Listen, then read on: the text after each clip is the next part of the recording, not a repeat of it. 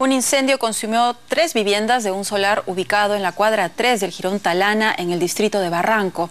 A ese lugar llegaron hasta seis unidades de bomberos que tuvieron algunos problemas con el abastecimiento de agua. En pocos minutos, las llamas se extendieron con rapidez en las viviendas construidas con material precario. Una persona fue trasladada hasta un centro de salud debido a que presentaba signos de asfixia por el humo. El siniestro se habría originado por un cortocircuito en una de las casas afectadas.